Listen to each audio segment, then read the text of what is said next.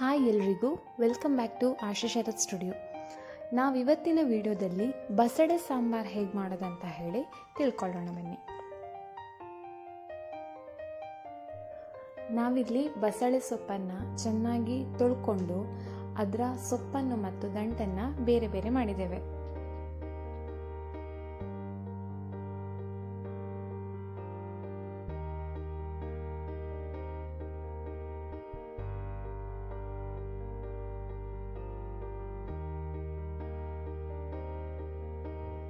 ಈಗ ಬಸಳೆ ಸೊಪ್ಪನ್ನು ಸಣ್ಣ ಸಣ್ಣದಾಗಿ ಹೆಚ್ಚಿಕೊಳ್ಳುವ.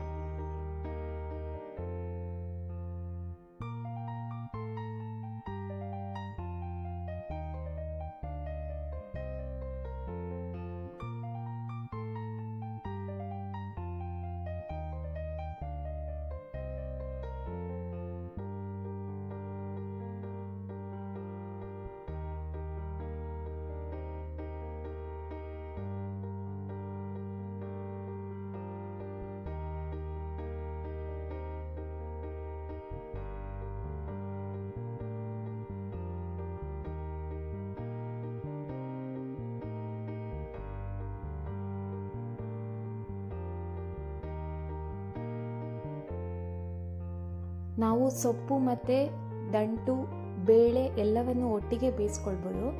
ಆದರೆ ನಾವಿಲ್ಲಿ ದಂಟು ಮತ್ತು ಬೇಳೆಯನ್ನು ಸಪ್ರೇಟಾಗಿ ಬೇಯಿಸಿ ಸೊಪ್ಪನ್ನು ಆಮೇಲೆ ಹಾಕಿ ಬೇಯಿಸ್ಕೊಂಡಿದ್ದೇವೆ. ಈಗ ಮಸಾಲೆಯನ್ನು ರೆಡಿ ಮಾಡಿಕೊಳ್ಳುವ. ಖಾರಕ್ಕೆ ತಕ್ಕಷ್ಟು ಬ್ಯಾಡಗಿ ಮೆಣಸು, ನಾಲ್ಕರಿಂದ ಐದು ಎಲೆ, ಕರಿಬೇವು, ಕಾಲು ಟೇಬಲ್ ಸ್ಪೂನ್ನಷ್ಟು ಸಾಸಿವೆ, ಕಾಲು ಟೇಬಲ್ ಸ್ಪೂನ್ನಷ್ಟು ಮೆಂತೆ ಕಾಲು ಟೇಬಲ್ ಸ್ಪೂನ್ ಜೀರಿಗೆ ಅರ್ಧ ಟೇಬಲ್ ಸ್ಪೂನ್ ಉದ್ದಿನಬೇಳೆ ಎರಡು ಟೇಬಲ್ ಸ್ಪೂನ್ನಷ್ಟು ಕೊತ್ತಂಬರಿ ಬೀಜ.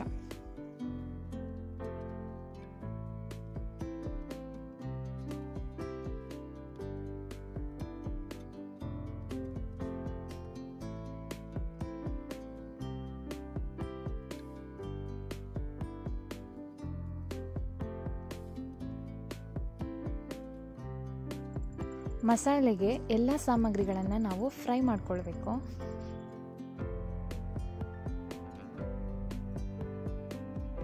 ಇಂಗು ಬೇಕಾದರೆ ಸ್ವಲ್ಪ ಹಾಕೊಳ್ಳಿ. ಇವೆಲ್ಲವನ್ನು ಫ್ರೈ ಮಾಡ್ಕೊಳ್ಬೇಕು.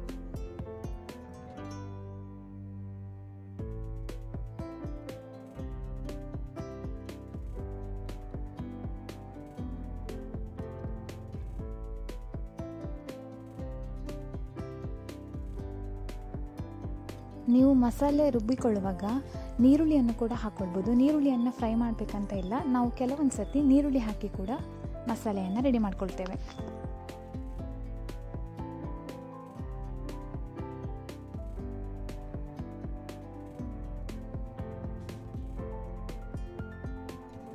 ಹುಣಸೆ ಹಣ್ಣನ್ನು ನಾವು ನೀರಿನಲ್ಲಿ ನೆನೆ ಹಾಕಿದ್ದೇವೆ.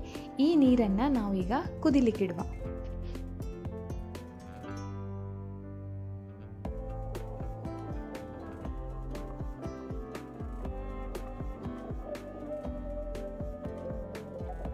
ರುಚಿಗೆ ತಕ್ಕಷ್ಟು ಉಪ್ಪು ಹಾಗೂ ಸ್ವಲ್ಪ ಅರಿಶಿನವನ್ನು ಕೂಡ ಹಾಕೊಳ್ಳಿ.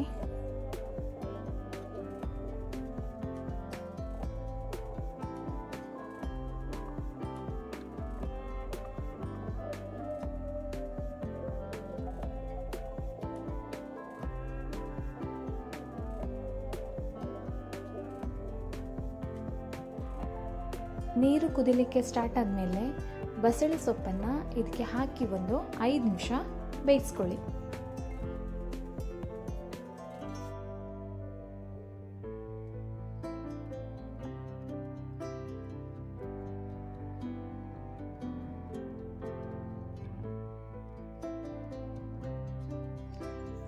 ಈಗ ನೋಡಿ ಬಸಳೆ ಸೊಪ್ಪು ಬೆಂದಿದೆ.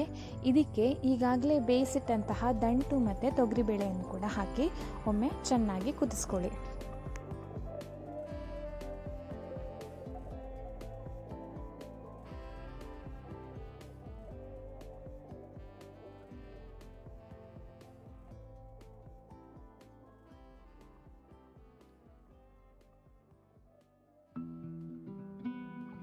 ಒಂದೂವರೆ ಕಪ್ಪಿನಷ್ಟು ತೆಂಗಿನಕಾಯಿ ಜೊತೆ ಇವೆಲ್ಲವನ್ನು ಸ್ವಲ್ಪ ನೀರು ಹಾಕಿ ನುಣ್ಣಗೆ ರುಬ್ಬಿಕೊಳ್ಬೇಕು.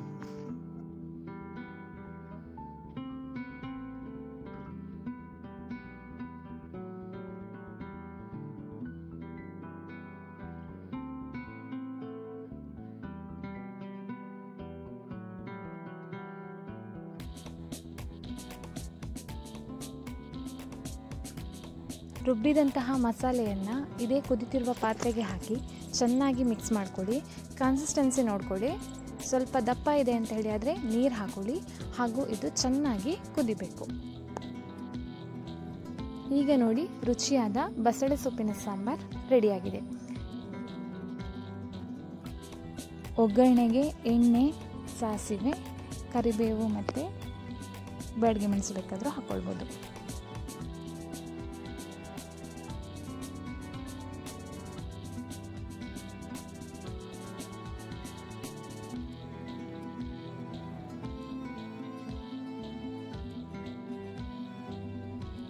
ಇವತ್ತಿನ ಬಸಳೆ ಸೊಪ್ಪಿನ ಸಾಂಬಾರ್ ರೆಸಿಪಿ ನಿಮ್ಮೆಲ್ಲರಿಗೆ ಇಷ್ಟ ಆಯ್ತು ಅಂತ ಹೇಳಿ ಅಂದ್ಕೊಳ್ತಾ ಮುಂದಿನ ವೀಡಿಯೋದಲ್ಲಿ ಮತ್ತೆ ಹೊಸ ಕಾನ್ಸೆಪ್ಟ್ನೊಂದಿಗೆ ಬರ್ತೇನೆ.